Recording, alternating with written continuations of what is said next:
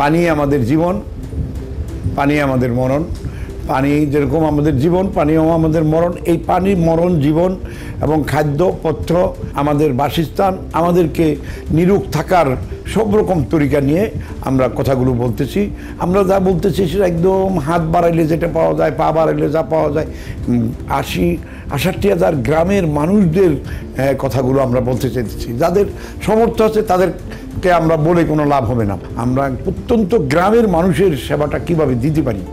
তো সেই সেবার দিকে লক্ষ্য করে আমরা বিশুদ্ধ পানির জন্য এলাম বা ফিটকিরিকে তুলে ধরলাম।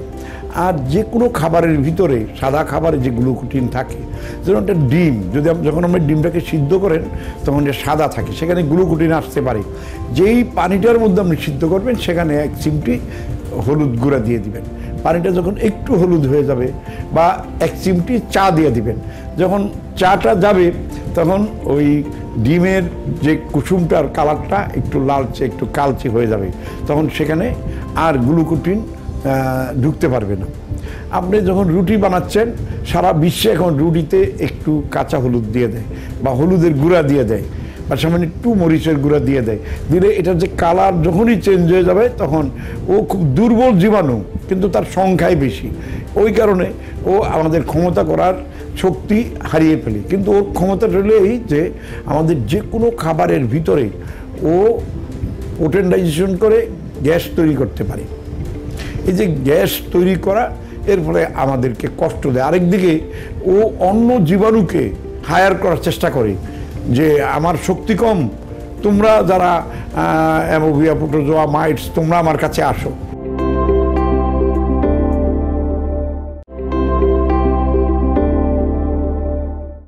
মিষ্টি পানির অঞ্চলগুলোতে মানে পদ্মা, মেঘনা, যমুনা, এই এলাকার মানুষদের জন্য একটু রিস্ক আছে, ডায়রিয়ার।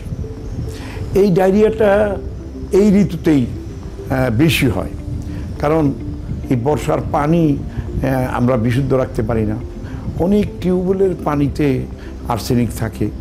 যেসব টিউবওয়েলের মুখগুলো লাল রং দিয়ে রং করা হয়, সেখানে কিন্তু আপনার আর্সেনিক আছে বলে সরকারিভাবে ওটাকে ডিক্লারেশন দেওয়া হয়।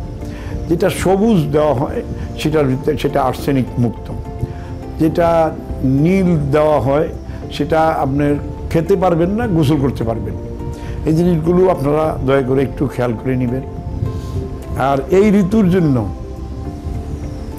আমি আপনাদেরকে অনুরোধ করব যে আপনারা আজকে থেকেই বাড়িতে, পরিবারে, ঘরে, বাড়ির আশেপাশের লোকদেরকে বলবেন, এক কেজি পানি নেবেন। সকালবেলা নাস্তা টাস্তা খাওয়ার পরে এক কেজি পানি, এক চিমটি গুড় বা চিনি আর এক চিমটি লবণ, এক কেজি পানি। এটা আপনার মিক্স করে দিতে হবে এটা ভালো করে নাড়তে হইব। নেড়ে ওই পানিটা, এটা জাল দেওয়া লাগবে না। পানিটা আপনি গরম করে নিতে পারেন বা এক টুকরা কাঁচা হলুদ অথবা এক টুকরা ই দিয়ে নিতে পারেন। একটু সামান্য ফিটকিরি বা এক টুকরো ইয়ে দিয়ে নিতে পারেন। এই কাঁচা হলুদ বা নিম পাতা দিয়ে আপনি পানিটাকে আরও বেশি বিশুদ্ধ করতে পারেন আরও স্টেলাইজ করতে পারেন। মানে ডেঙ্গু প্রতিরোধের জন্য একটু এক, ছোট্ট একটা দুটা নিম পাতা দিয়ে নিলে ভালো হয়।